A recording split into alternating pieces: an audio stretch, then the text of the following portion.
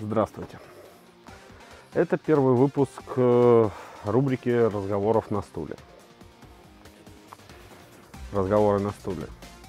Ну, это пока рабочее название. Если что, кстати, все предложения в комментарии по названию данной рубрики.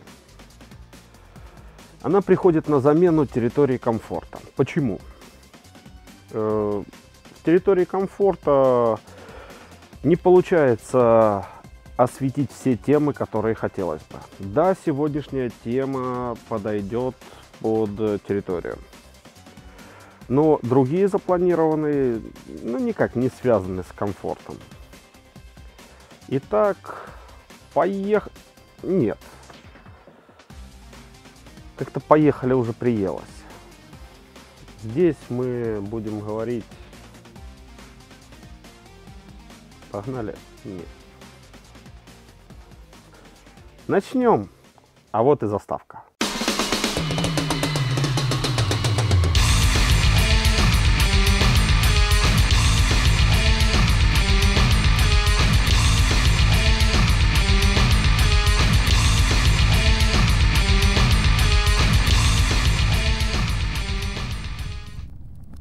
Сегодняшней темой будут теплоносители. С этой темой, ну я бы не сказал, что я знаком на 100%. Пришлось изучить много материала. И я надеюсь, я хорошо подготовился. И вам будет интересно. Итак, начнем с того, что э, какие существуют два теплоносителя основных это вода и антифриз. Вода это лучший теплоноситель. Как я думал до некого момента. Но этот лучший теплоноситель замерзает. В каких-то аварийных ситуациях, когда долгое время находится без присмотра, или когда не требуется постоянного нагрева помещения, э, в отсутствии пользователей. Ну, к примеру, бани, дачи, когда люди не хотят расходовать газ в свое отсутствие. В этих случаях применяется антифриз. Антифризы. В чем их плюсы? Температура замерзания от минус 16 до минус 30 градусов. А иногда и минус 60. Так называемые концентраты. Производители не всегда рекомендуют, а точнее не рекомендуют заливать антифризы в системы, в свое оборудование. Э, или как? Или рекомендуют определенных производителей. Ну, в большинстве случаев это партнерские соглашения. Давайте не будем задействовать никаких производителей, не будем называть бренды. Антифризы существуют на основе этиленгликоля и пропиленгликоля. Этиленгликоль – это сильнейший яд. Пропиленгликоль – это пищевая добавка. Если по-простому, в одноконтурный котел можно заливать э, любой антифриз, э, точнее, как правильно сказать, в систему с одноконтурным котлом. Э, потому что нас мало волнует, что происходит в системе отопления. Она замкнутая, закрытая. Э, двухконтурный котел, система с двухконтурным котлом, можно заливать антифриз только на основе пропиленгликоля. Ввиду того, что существует вероятность попадания антифриза в нашу санитарную воду. Хотя это тоже вопрос спорный, потому что давление в системе отопления – практически всегда ниже, чем давление в системе водоснабжения. И поэтому вероятность попадания антифриза очень-очень мала. Некоторые говорят, что антифризы предотвращают э, коррозию системы отопления. И они очень сильно ошибаются. Антифризы очень сильно влияют на систему отопления. Они очень коррозионно активны. Для предотвращения коррозии Используются специальные присадки. Ну и теперь подробнее о них. Традиционные добавки считаются устаревшими, но все еще используются. К таковым относятся неорганические добавки фосфаты, бараты, нитрины, амины, силикаты. Мне удалось это запомнить. Э, значит, цена на теплоносители с традиционными добавками значительно ниже. На европейском рынке они практически не используются, но на российском антифризы с этими присадками все еще активно выпускаются. Традиционные добавки имеют побочные эффекты. Они снижают эффективность работы теплоносителя.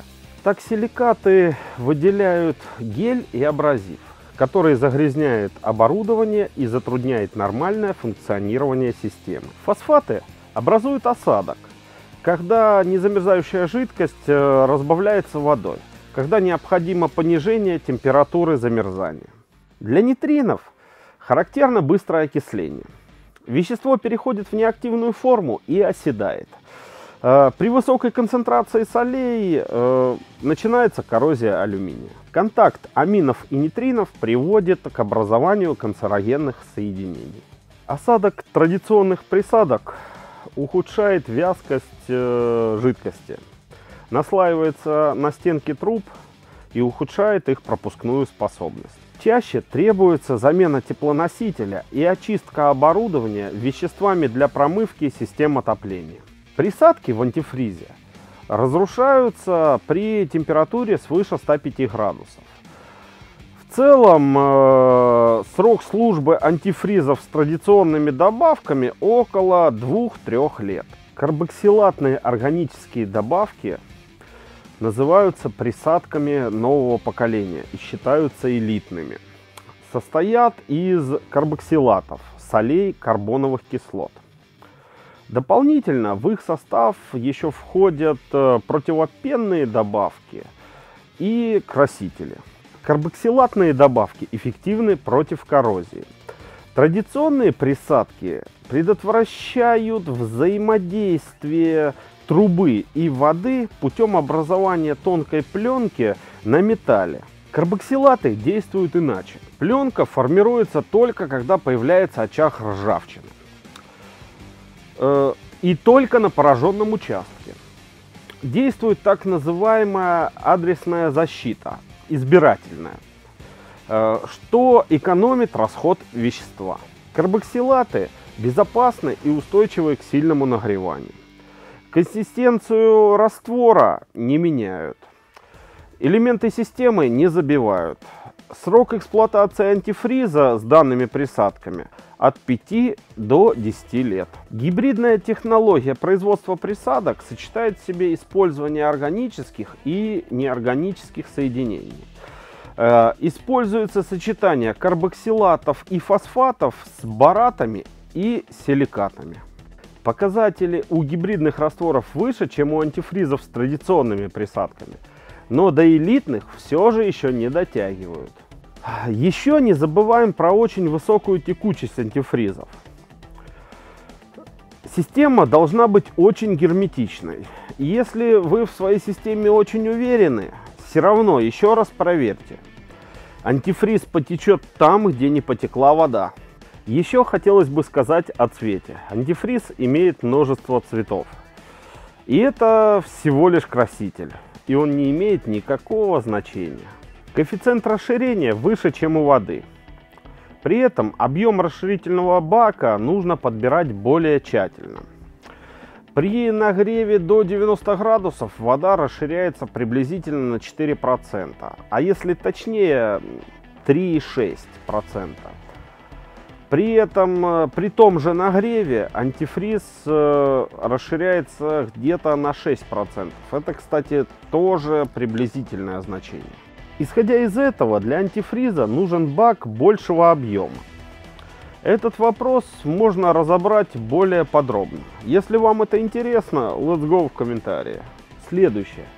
Можно ли смешивать э, антифризы? Можно, даже этиленгликоль с пропиленгликолем. Все это спирты. Ничего страшного здесь не может произойти. А вот э, при смешении присадок нужно быть поаккуратнее. Это все может привести как к улучшению, так и э, навредить вашей системе. это может привести к пена и э, хлопьеобразованию, что очень сильно навредит системе отопления. А теперь вернемся к самому лучшему теплоносителю – воде. Здесь тоже не все так просто. Э, в системах отопления рекомендуется применять подготовленную, а не водопроводную воду, в которой тоже очень много примесей, которые негативно влияют на систему отопления. Что же такое подготовленная вода для системы? Это вода, которая очищена от механических примесей, а также от тяжелых металлов и солей. Ну и коротко, самый простой метод э, подготовки воды – это ее фильтрация и термическая обработка. Ну и на этом все. Лично для меня эта тема была сложной. Я надеюсь, что для вас она была полезной. Если я что-то не сказал, о чем-то забыл, где-то ошибся, излагайте в комментариях. Не забываем, что голосование на тему выборы котла года все еще не закончилось и происходит в нашей группе ВКонтакте. Э, а также про вот это не забываем. Ну и на этом все. До новых встреч в новых роликах.